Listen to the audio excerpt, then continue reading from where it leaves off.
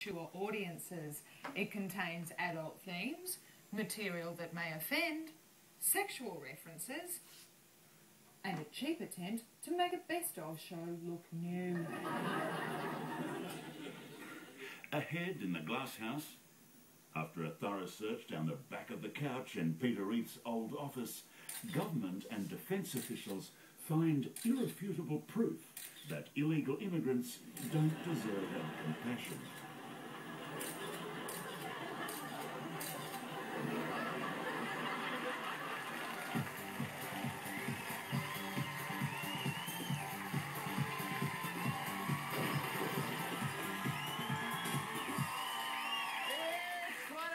Welcome to the last Glass House for 2002.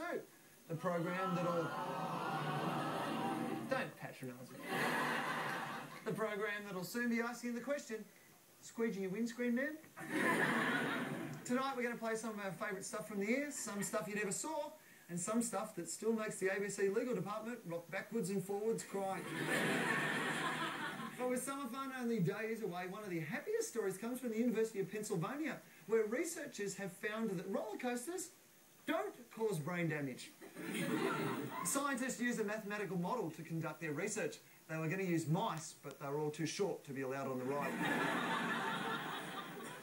the boffins investigated the belief that throwing your hands in the air as you plummet down a roller coaster is partly for the sensation, but mostly to catch any bits of the brain that might come flying out of your ears.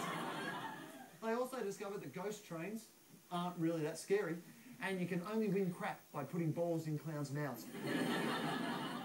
you can win millions by doing it in priests, but... Um,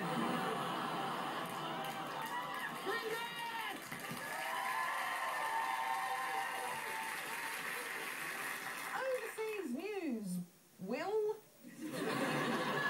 not the best one, is it?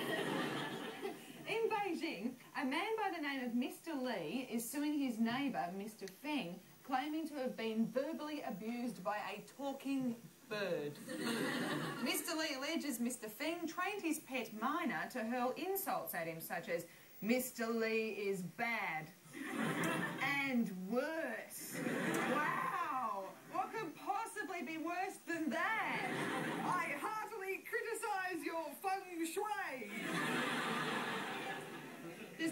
Mr. Lee. The last bird they had next door could only say, Who's a pretty boy then? And then he accused it of gay sexual harassment. Mr. Lee also accused the bird of making vulgar noises first thing every morning, but that turned out to be a sparrow fart.